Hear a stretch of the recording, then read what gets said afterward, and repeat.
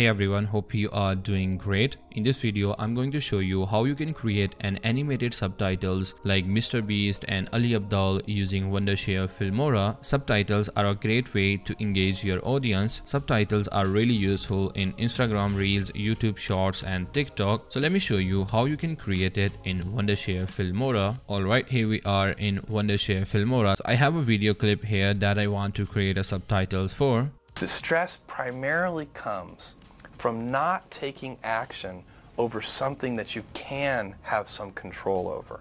So all I have to do is to right click on the video clip, go to speech to text. So here i have a language option right here. So you can change the language. If your audio is not in english not in german you can select it from here customly. And the next language option is to translated option. If you want to translate your subtitle into another language you can also select from here. This is the new option. If you don't get this option right here you need to update your filmora because filmora is recently updated to the latest version which actually contain this add automatically active words. So if you don't see this option right here you need to update your filmora. So make sure you check this box because this is the important thing right here and just hit ok. It will automatically transcribe your video and add the subtitles above to your video match with your audio. Okay it actually works really good. So let me show you how it actually works the stress primarily comes from not taking action over something that you can have some control over.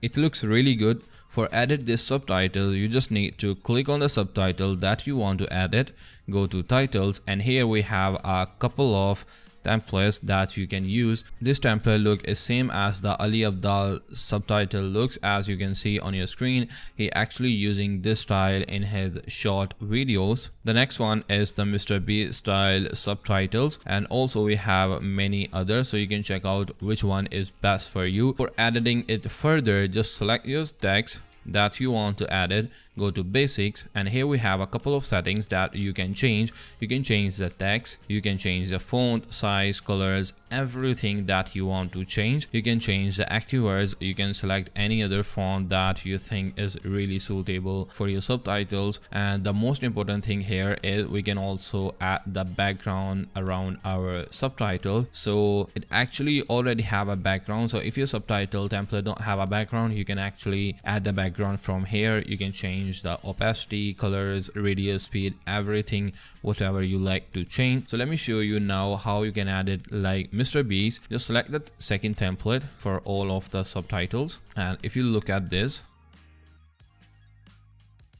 it is the same style as Mr. Beast used in his videos. So all we have to do is to change the phone to Komika Axis which uh, mr beast is actually using. So i'm just change the active words to Komika Axis.